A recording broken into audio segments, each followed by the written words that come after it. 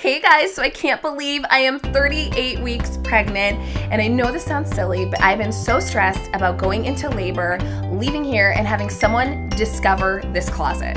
Oh my. I have no idea how it got so disorganized, but I knew exactly who to call for help. Hi! Hey Elle, how are you? I need help. Look at this place. If my in-laws see this when they come, I'm going to die. Don't worry Elle, I've got some easy steps and I'm gonna walk you through it. You guys might remember Kathryn from my pantry overhaul, and today she's gonna give us five tips for organizing a tough space, and you guys are not gonna believe the final result.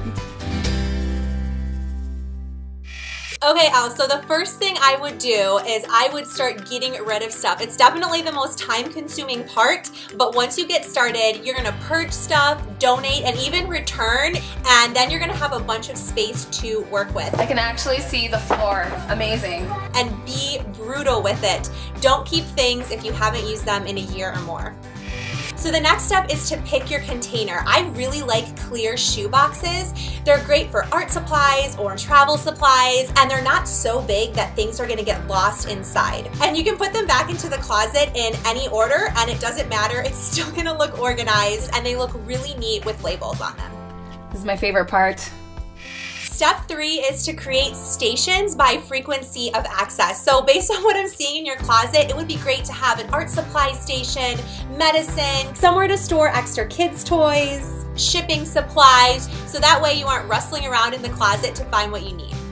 The next tip is to find space for everything else. And all of your containers don't have to look the same. You don't have to keep lids on everything. Some things don't even need to be contained because the whole point is that you can access things easily. So the final tip is to consolidate. Take supplies like toilet paper and toiletries out of their packaging so you have more space. And remember, you don't have to fill up every single space of this closet. It's good to have a little bit of extra space and you're definitely gonna need it with another baby. All right, guys, here is the before and the after. So excited. Not only does it look so much better, but everything is super accessible and easy to find, and it really wasn't that difficult to do. Thank you, Kathryn. You are so welcome, Elle. It looks so awesome. I absolutely love this. It just, it feels like I can actually find things.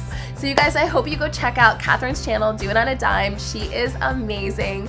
I don't know if I'm gonna see you next week, but I will definitely keep you updated. Thanks for watching. I hope this inspired you to go tackle something tough. Bye.